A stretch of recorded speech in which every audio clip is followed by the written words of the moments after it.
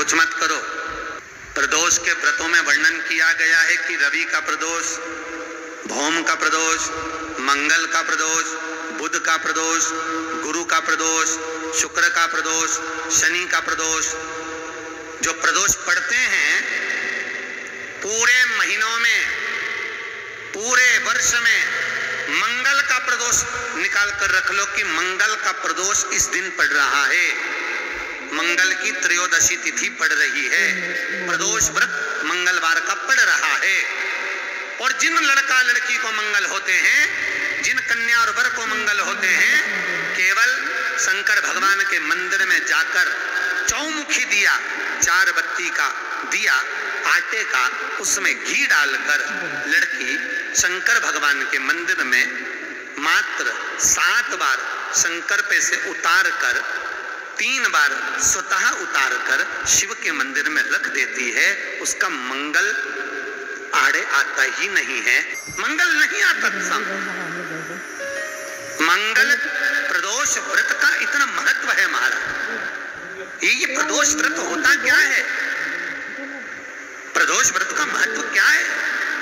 शिव महापुराण की कथा कहती है, शंकर भगवान का प्रदोष का व्रत। अर्थात चंद्रदेव को जो क्षय रोग हो गया, बीमार पड़ गए, शरीर गलकर नीचे गिरने लगा, तब देव ऋषि नारद ने भगवान चंद्र को शंकर भगवान के पूजन का विधान बताया और पूजन करते करते त्रयोदशी तिथि आ गई।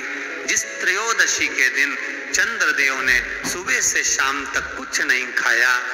शाम के समय सूर्य अस्त के पहले चंद्रदेव ने स्नान किया, श्वेत वस्त्र धारण करे और श्वेत वस्त्र धारण कर कर चंद्रदेव शंकर के शिवलिंग की पूजन करने बैठ गए।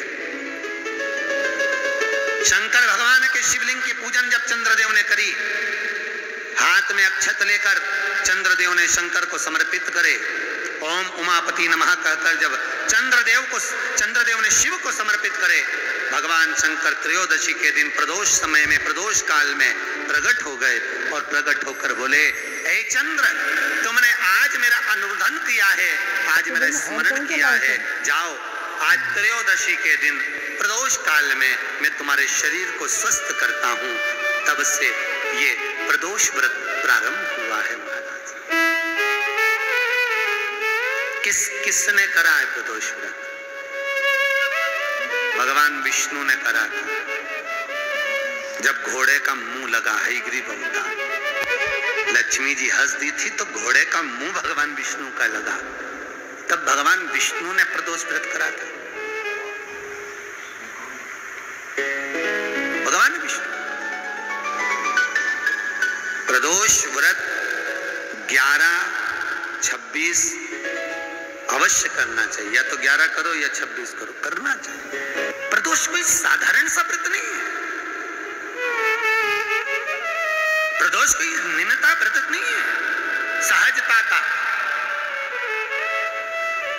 एक एक प्रदोष का महत्व शास्त्र वर्णन करता शिव महापुराण कहती है एक एक प्रदोष का महत्व। एक एक प्रदोष। शंकर, भगवान।